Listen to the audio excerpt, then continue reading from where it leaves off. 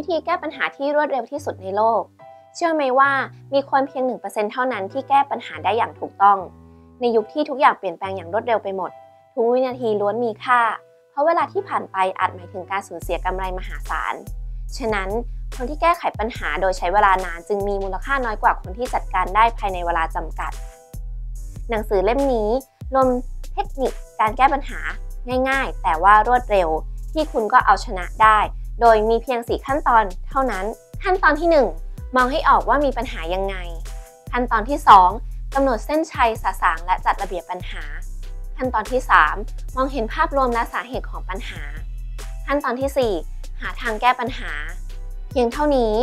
คุณก็จะยกระดับการเป็นคนทำงานที่มีมูลค่าสูง และมีทักษะการแก้ไขปัญหาชั้นเลิศ โดยใช้โปรแกรมฝึกเดียวกับพนักงานของซอฟแบงและ Yahoo เชียวนะ